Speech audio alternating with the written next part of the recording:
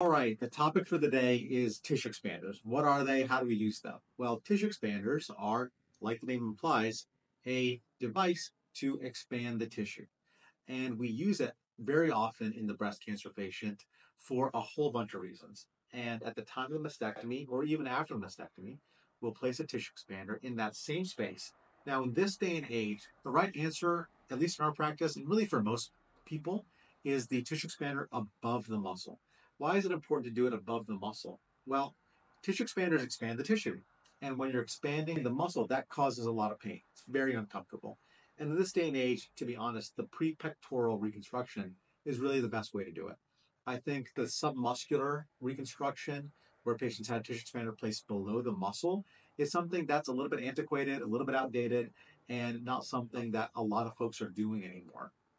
If you do have a tissue expander uh, or an implant below the muscle, there are ways to change the uh, implant to above the muscle, again, using a tissue expander. And so the tissue expander really allows us to control that space where the breast used to be.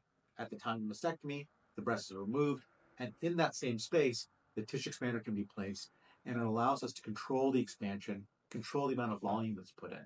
Now, at the time of the mastectomy, we'll fill the tissue expander up about halfway on average. You don't want a lot of compression on the mastectomy skin. What you don't want is to hurt the mastectomy skin, cause any mastectomy skin flap necrosis. We will use drains, and drains are there to remove fluid, to avoid a fluid collection, to avoid an infection. Now, for most folks, about a month later, we're doing the expansion, and we do that in the office, and we place a needle in the skin and expand the tissue expander.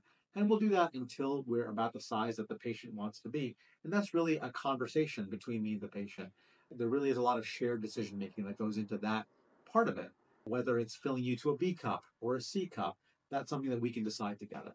About a month later, we'll take you back to the uh, operation uh, and remove the tissue expanders and replace them with implants.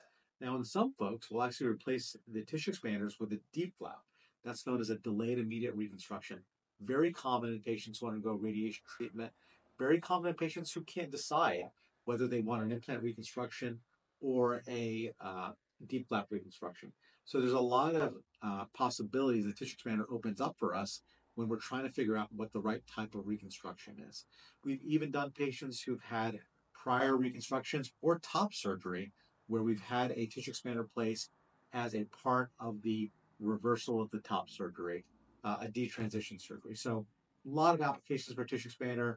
It's something that's been used in plastic surgery for many, many years in reconstruction of all types of areas of the body, but very commonly done in a breast cancer reconstruction and of course can be used with an implant or a DIEP flap reconstruction.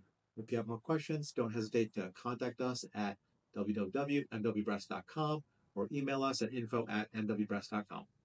Thanks.